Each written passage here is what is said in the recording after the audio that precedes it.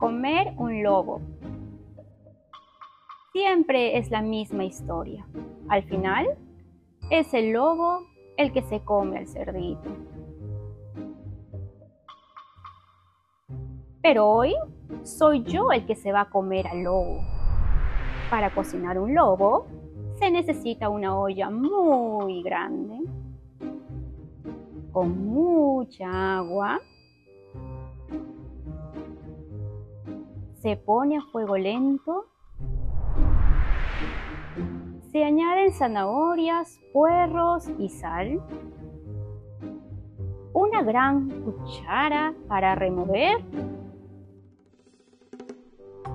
y, naturalmente, se necesita un lobo. Desgraciadamente, yo no tengo un lobo. Espera, veamos qué hay en el armario de la cocina. ¿Qué encontrará el cerdito en el armario? Descúbrelo en el libro Comer un lobo, escrito por Ramadier e ilustraciones de Vincent Bourdieu. Lo encontrarás en las estaciones de bibliotecas públicas de la Biblioteca Nacional del Perú.